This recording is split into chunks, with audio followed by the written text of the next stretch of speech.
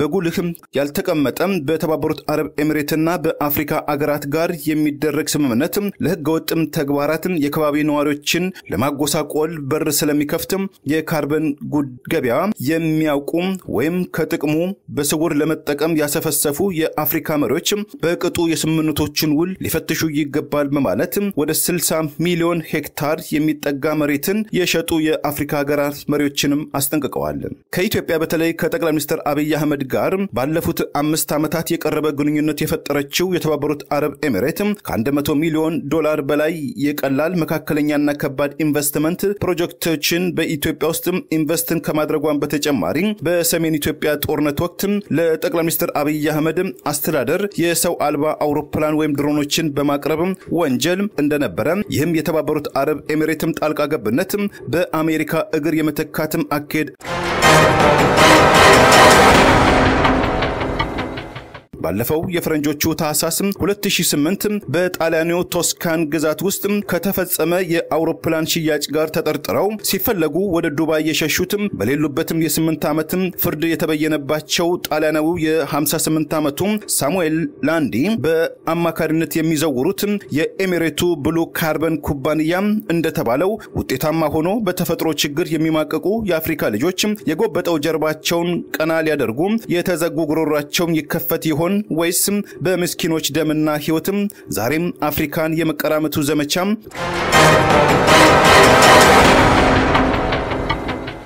ሰሞኑን የወቅቱና የቀድሞ የዓለም መሪዎችም ሳይንቲስቶችን፣ የከባቢ አየር ተሟጋቾችና ብዛት ያላቸው ጋዜጠኞችን ያስተናገደችው የመካከለኛው ምስራቅም ትንሿ ሀገር የተባበሩት አረብ ኤሚሬት ኢትዮጵያን ጨምሮም ከበርካታ የአፍሪካ ሀገራት ጋር የተለያዩ ስምምነቶችን መፈራረሟ በመገናኛ ብዙሃን አማካኝነትም ተሰምቷል። እንደ ምዕራባውያን ሚዲያዎችም ሰሞንኛ ዳሰሳም የተባበሩት አረብ ኤሚሬት የተለያዩ የአፍሪካ አገራትን መሬቶቻቸውን በውል ሽፋን የመቀራመትም the new scramble for Africa አዲስ እንቅስቃሴ ውስጥ ገብታለች ሲሉ ኤሚሬትን በጽኑ እየተቿትም ይገኛሉ። የኢትዮጵያው ጠቅላይ ሚኒስትር አብይ አህመድን ጨምሮ የደቡብ አፍሪካ፣ የህንድ፣ የናሚቢያ፣ የሴራሊዮን፣ የዴንማርክ የመሳሰሉትን አገራት መሪዎችና ሰባ ሺህ ተሳታፊዎችም ካለፈው ህዳር ወይም ፈረንጆቹ ኖቨምበር 30 እስከ ታህሳስ 12 2023 የሚስተናገዱባት 28ኛው የተባበሩት መንግስታት የከባቢ አየር ለውጥም ኮንፈረንስ UN COP 28 በዋና ከተማ ዱባይ ውስጥ እያስተናገደች የምትገኘው የተባበሩት አረብ ኤሚሬት ንጉሲያን ቤተሰቦች አንዱ የሆኑት በብዙዎችም ዘንድ ብዙም እውቅና የሌላቸው ሼክ አህመድ ዳልሙክ አልማክቱም ከዚምባብዌ፣ ከላይቤሪያ፣ ከዛምቢያና ከታንዛኒያ ጋር የእንግሊዝን ቆዳ ስፋትን የሚተካከል የተፈጥሮ ደን ለመቆጣጠር መፈራረማቸውም ተሰምቷል። የሀገራቱን የካርቦን እምቅን በመቆጣጠር የሙሉ ባለቤትነት ያላቸው ቱጃሩም ሼክና ገና ዓመት ያልሞላው ብሉ ካርበን የተባለው ድርጅታቸው የተፈጥሮ ባለሀብት የሆኑ የአፍሪካ ልጆችን እትብታቸው በተቀበረበትም በቦረቁበትም ባደጉበትም በጎለመሱበትም መሬታቸው ላይ የፈለጉትን ነገር ለማከናወን እንደማይችሉም ስጋት ያላቸው የአካባቢ አየር ተሟጋቾችም ከዚህ ሁል ምን ጥቅም እንደሚያገኙ በውል አልተገለጸም። ቀደም ሲልም ከተፈጥሮ ደንና የዱር አራዊት እንክብካቤ ጋር የተያዘ ልምድ የሌላቸው የኤሚሬቱ ንጉሳውያን ቤተሰብም ሼክም አህመድ በቅርቡ በጎረቤት ኬንያ ውስጥ በብዙ ሺህ ሄክታር የተቆጠረ መሬትን ባለቤትነት ስምምነት ያደረጉ ሲሆን ከኢትዮጵያ ጋር ስለሚኖራቸው ቀጣይ ውል ለጊዜው ባይታወቅም በርካታ አገራትን በዶላር የማማለሉና መሬታቸውን የመቀራመቱ ሂደት ግን ይቀጥላልም ተብሏል። እንደ እንግሊዙ ዘጋርዲያን ጋዜጣም ሰሞነኛ ትንተናም በፓሪስም ፈረንሳይ ከዛሬ ዘጠኝ ዓመት በፊትም የተደረሰውን ዓለም አቀፋዊ የተፈጥሮ አየር እንክብካቤ ስምምነትን ተግባራዊ ለማድረግም እንደሚንቀሳቀሱ መግለጫ ያወጡትም የብሉ ካርበን ኩባንያ ሊቀመንበሩ ሼክም አህመድ ቀደም ሲል በዘመነ ኮቪድ-19 ወረርሽኝ ወቅት የሩሲያ ሰራሹ ስፑትኒክ ቫክሲንን የማከፋፈል ቢዝነስና መሰል ንግዶች ጋር መነካካታቸው ከተለያዩ የማፊያ ስራዎች ጋር የተነካኩ ጣሊያናውያንን በድርጅታቸው የአማካ ነት ቦታ መሾማቸው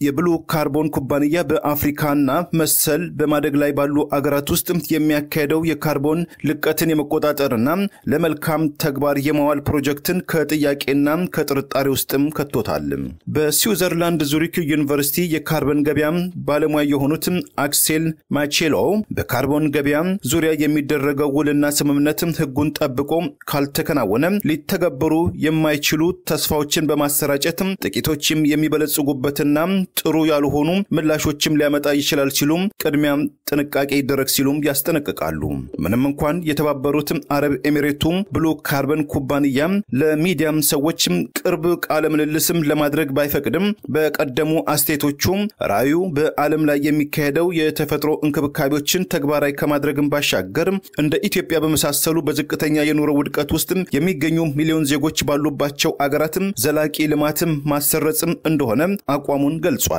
አብዛኞቹ ውሉ ሚስጥራዊ የሆኑበትም የተባበሩት አረብ ኤሚሬት የብሉ ካርቦን ኩባንያም በቅርቡ ካካሄዳቸው ውሎች መካከል አንዱ የሆነው ከምዕራብ አፍሪካዊቷም ላይቤሪያ መንግስት ጋር ባለፈው ሐምሌ የተደረሰው የስምምነት ሰነድ ላይ 10 ከመቶ የላይቤሪያን የተፈጥሮ ደን በበላይነትም ሊቆጣጠር የ30 ዓመትና ፍጹም ባለመብትነትን እንደዚሁም 70 ከመቶ የካርበን ሽያጭም ትርፍም እንደሚወስድም ይህም ስምምነትን ምንጩ በፓሪስ ላይ የተደረሰው የመንግስታቱ ድርጅት አባል አገራት ውል መሆኑም ተመላክቷል። በዚህ ውል መሰረትም ብሉ ካርበን ኩባንያ አምስት ከመቶ የዚምባብዌን፣ አስር ከመቶ የዛምቢያን፣ ስምንት ከመቶ የታንዛኒያን የመሬት መቆጣጠሩን ሰነዶቹም ጠቁመዋል።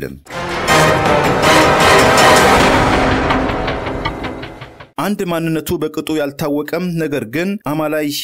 የሆነው በቢሊዮኖችም የሚቆጠር የዶላር ክምችቱን እንደ ዋነኛ መሳሪያነትም የሚጠቀመው የተባበሩት አረብ ኤሚሬቱም ብሉ ካርበን ኩባንያ ከተለያዩ የአፍሪካ አገራት ጋር ያደረጋቸው የተፈጥሮ ደንና የመሬት ባለቤትነትም ሙሉ መብትም ውልን በበርካታዎችም አዲስም ዘመን አመጣሽም አፍሪካን የመቀራመትም ስትራቴጂ በማለትም ተችተውታል። የተፈጥሮ ደኖችን በማስተዳደር ረገድም የሚሟገተው ለትርፍ ያልተቋቋመው መንግስታ ያልሆነው ፈርን የተሰኘው ተቋም ተወካይ የሆኑትም በላይቤሪያና በጋናም ጉዳይ የሚከታተሉትም አሌክሳንደር ቤንጃሚን በሰጡት አስተያየትም የተባበሩት አረብ ኤሚሬት Blue Carbon ኩባንያ በአፍሪካ አህጉር የተለያዩ አካባቢዎችም ለአስር ዓመታትም የሚዘልቅ የመሬት ባለቤትነት መብት ማግኘቱ ህይወታቸውን ከተፈጥሮ ሀብትም ከደኖች ጋር በቀጥታም ሆነ በተዘዋዋሪ ያደረጉ በሚሊዮኖች የሚቆጠሩ ዜጎችን መጻኢ ዕድላቸው ላይ ብርቱ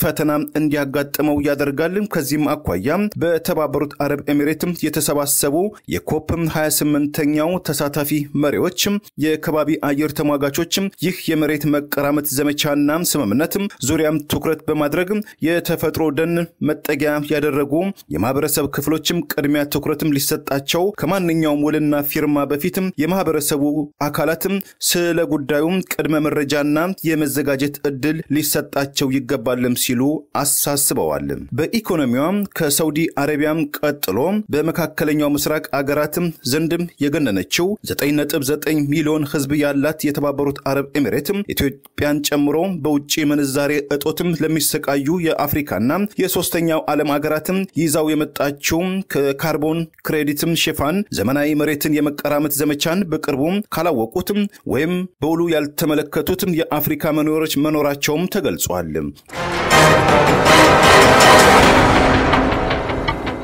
የኬንያው ፕሬዚዳንት ዊልያም ሩቶም ስለ ካርበን እምቅም ሀብትነት በተመለከተም በቅርቡ በሰጡት አስተያየትም የአፍሪካ አህጉር ከወርቅም ሀብት ጋር ያልተናነሰ የኢኮኖሚ ምንጭም አለው። የካርቦን ገበያም ከሰብአዊ መብትም ጥሰትና መከበር ያለውን ቁርጠኝነትን በተመለከተም በላይቤሪያ ጉዳይ ጥናትም ያደረጉት የምስራቅ አፍሪካና የ Intergovernmental Science Policy በብዝሃነት እና በ ecosystem ዙሪያም ኃላፊ የሆኑት ዴቪድ አቦራ የ carbon credit ገበያውን ተከትሎ ኑሯቸውን ከተፈጥሮ ደኖች ጋር ያደረጉ የማህበረሰብ ክፍሎችን ማግለል ወይም ጆሮ ዳባ ልበስም ማለትም የዜጎችን የሰብአዊ መብት አካል የሆነውን ተፈጥሯዊ የመኖር መብታቸውን መጋፋት ነው በማለትም የተቃውሞ አስተያየታቸውንም ሰንዝረዋል። በፓሪስ የከባቢ አየር እንክብካቤ ስምምነትም በአንቀጽም ስድስት ላይ መንግስታትን በ carbon credit ም ገበያ ላይ የራሳቸውን ድርሻና ተሳታፊነት ሊኖራቸው ይገባል ቢባልም የዓለማችን የከባቢ አየር ዋነኛ አብካዮች ሀያሎችም የሚባሉትም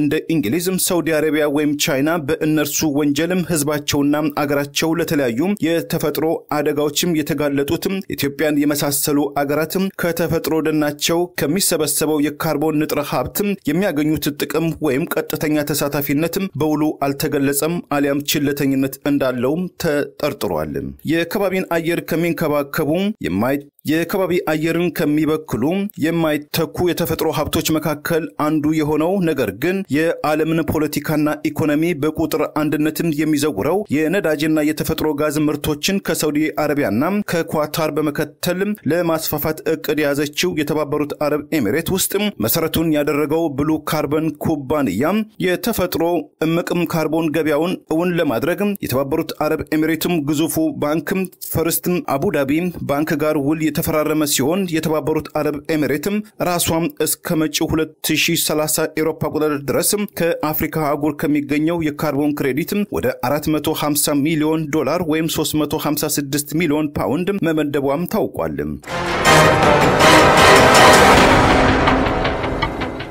የዚህ ዓመትም የዓለም አቀፉ የከባቢ አየር ኮንፈረንስ ሊቀመንበር የሆኑት የተባበሩት አረብ ኤሚሬት የነዳጅ ዋና ስራ አስኪያጁ ዶክተር ሱልጣን አልጃቢር በቅርቡም ስለ ከባቢ አየር መበከል በተመለከተ በሰጡት አስተያየትም እንደ ነዳጅ የመሳሰሉ ከቅሪተ አካላት የሚገኙ የተፈጥሮ ሀብቶችም የከባቢው አየርን በአንድ ነጥብ አምስት ዲግሪ ሴንቲግሬድ በማሞቅ ረገድ የሚጫወተውን አሉታዊ አስተዋጽኦ የሚያሳይ አንዳችም ማስረጃ የለም ማለታቸውን ተከትሎ የቀረበባቸውን ከተባበሩት መንግስታት ዋና ጸሐፊው አንቶኒ ጉቴሬዥም የማስጠንቀቂያ መልእክትም የሚጣረስ አስተያየትም የሰጡትም ሱልጣኑ ይህንን አስተያየታቸውን በተመለከተ እንዲያስተባብሉ ወይም እንዲያረጋግጡ ሲል ፎሲልና የተፈጥሮ ነዳጅም ጥቅምን የሚያቀነቅኑ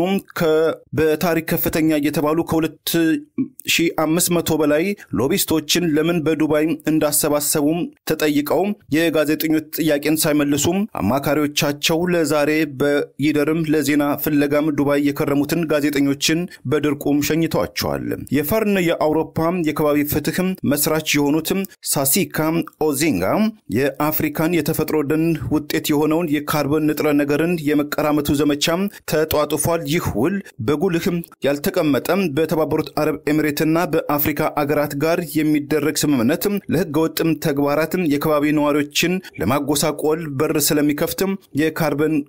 ገበያ የሚያውቁ ወይም ከጥቅሙ በስውር ለመጠቀም ያሰፈሰፉ የአፍሪካ መሪዎች በቅጡ የስምምነቶችን ውል ሊፈትሹ ይገባል በማለት ወደ 60 ሚሊዮን ሄክታር የሚጠጋ መሬትን የሸጡ የአፍሪካ ሀገራት መሪዎችንም አስጠንቅቀዋል። ከኢትዮጵያ በተለይ ከጠቅላይ ሚኒስትር አብይ አህመድ ጋር ባለፉት አምስት ዓመታት የቀረበ ግንኙነት የፈጠረችው የተባበሩት አረብ ኤሚሬት ከ100 ሚሊዮን ዶላር በላይ የቀላል መካከለኛና ከባድ ኢንቨስትመንት ፕሮጀክቶችን በኢትዮጵያ ውስጥ ኢንቨስትን ከማድረጓን በተጨማሪ በሰሜን ኢትዮጵያ ጦርነት ወቅት ለጠቅላይ ሚኒስትር አብይ አህመድ አስተዳደር የሰው አልባ አውሮፕላን ወይም ድሮኖችን በማቅረብ ወንጀል በህዋቶች አመራሮች ዘንድም ከፍተኛ ወቀሳም ሲሰነዘርባት እንደነበረ ይህም የተባበሩት አረብ ኤሚሬትም ጣልቃ ገብነት በአሜሪካ እግር የመተካትም አካሄድ እንደሆነም ተቾችም ይተቻሉ። ባለፈው የፈረንጆቹ ታህሳስ 2008 በጣሊያኑ ቶስካን ግዛት ውስጥ ከተፈጸመ የአውሮፕላን ሽያጭ ጋር ተጠርጥረው ሲፈለጉ ወደ ዱባይ የሸሹትም በሌሉበትም የስምንት ዓመትም